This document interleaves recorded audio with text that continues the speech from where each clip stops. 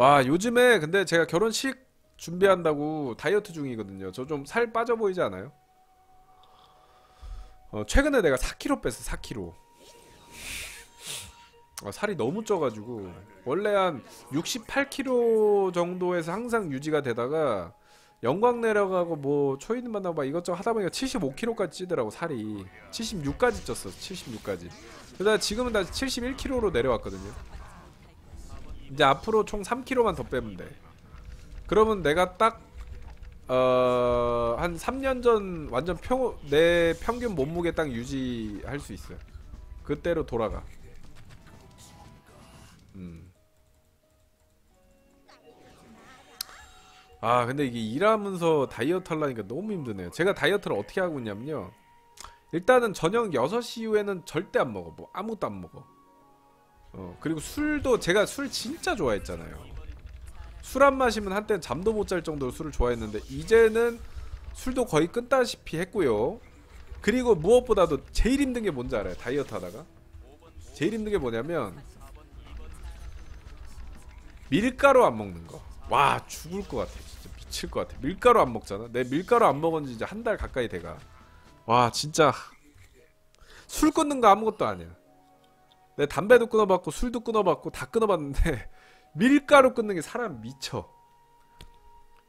일단은 저는 면을 너무 좋아해요. 칼국수, 라면, 짜장면, 짬뽕. 하.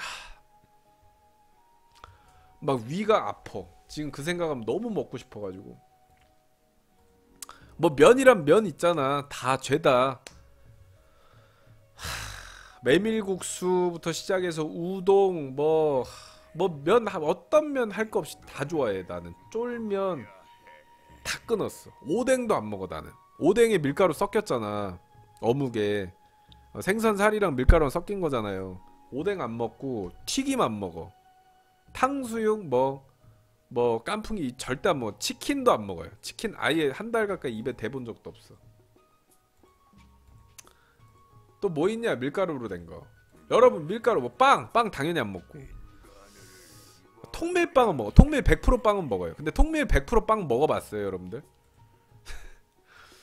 빵이 빵이 아니야. 아 떡볶이 안 먹고요. 아, 분식 절대 입에 안 돼요. 이게 사람이 내가 무슨 수도하는 느낌이야. 수도승 있잖아. 수도하는 느낌이니까 도 닦는 느낌이 있지.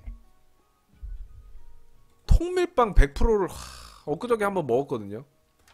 빵이 쓰더라고. 써. 왜 쓰는지 모르겠 써요.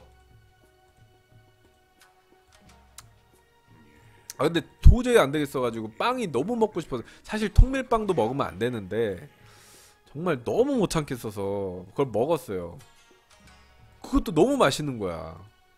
어, 아무튼 아무튼 그렇고 또 밀가루로 된 것도 뭐 있지? 아무튼 안 먹어. 음.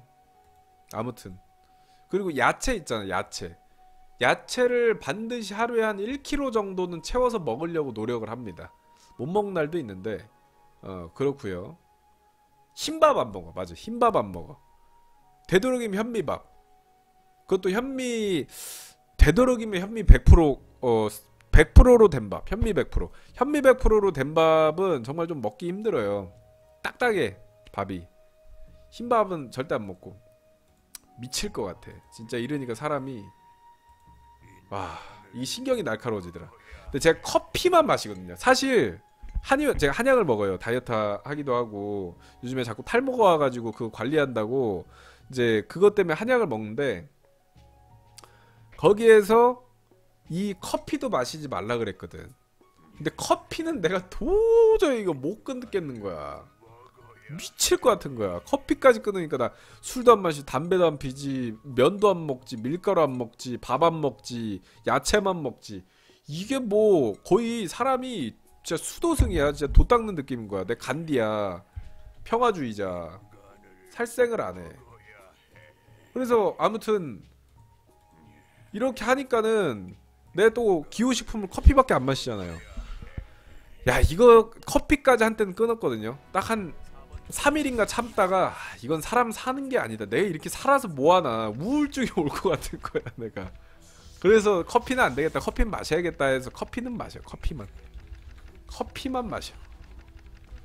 정말. 그러니까는 살이 정말 빠지더라고요. 붓기부터 빠지더니 살이 빠져.